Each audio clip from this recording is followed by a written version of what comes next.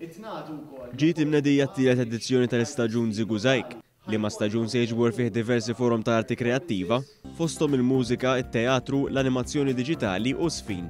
Dawn se jkunu miġbura fi ħmistax-il proġett differenti.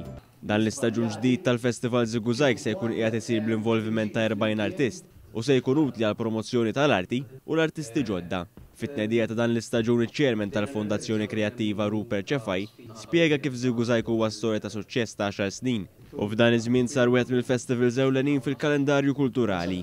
Huwa spjega kif minkejja l-isfidi riċenti, dan il-festival xorta jiġbed lejn udjenzi sostanzjali. Dal-aħħar sentejn kellna sitwazzjoni pjuttost straordinarja minħabba l-pandemija, anke kellna sena minnhom li kienet il-festival sar purament online, biss xorta żammejna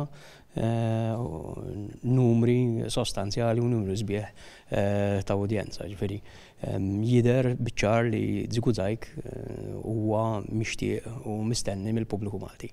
Intant id-Direttur Artistiku ta' Spazju Kreattiv, Daniel Azzopardi, stqarr li Żugużajk għandu l-mira li jippreżenta inizjattivi kreattivi lokali u anke internazzjonali biex dawn jitgawdew mit-tfal. Stqarr kif bi pjaċir qiegħed iħabbar it-tielet sena konsekuttiva tal-istaġun ta' Żigużajk u spjega ma' one News x'jista' jistenna l-pubbliku minn dan l-istaġun. Varjetà ta' dixxiplini differenti, jiġifieri arti tradizzjonali, teatru, żfin, mużika, imma wkoll animazzjoni diġitali, għandna taħlita wkoll ta' films minn repertorju interessanti ħafna, żgur xi ħaġa għall-familja kollha jsibu żgur.